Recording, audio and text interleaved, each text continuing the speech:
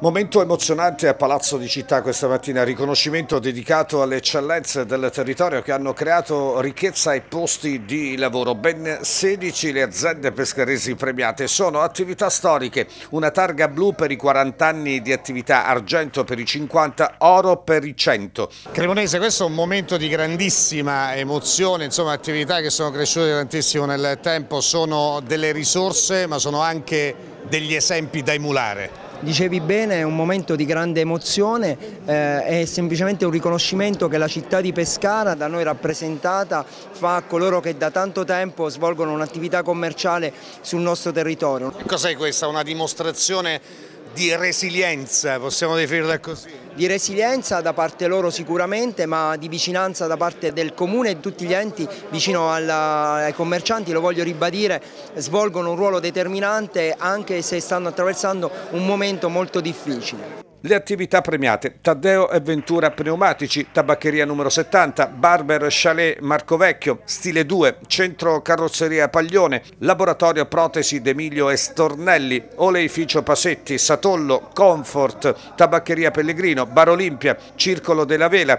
Albergo Natale, Bar Natale, Ottica Barberini e l'Ottica Salvatore per gli oltre 100 anni di attività.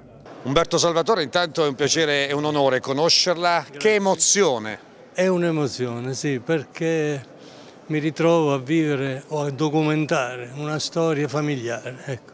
Quindi eh, ho la fortuna di poterla eh, comunicare perché l'ho vissuta tutta. Ho conosciuto mio nonno, ho vissuto una parte della mia vita con lui, perché lui è morto nel 58, e poi mio padre, ho vissuto con lui nell'azienda per 40 anni, lui è morto nel 97. Ricordiamo 126 anni di storia. Sì, 126 anni. Sì. Mio nonno cominciò a Corso Mantone a fianco alla casa di D'Annunzio, ha conosciuto la famiglia, è stato anche un fornitore della signora Marietta, la mamma di, di D'Annunzio, lui.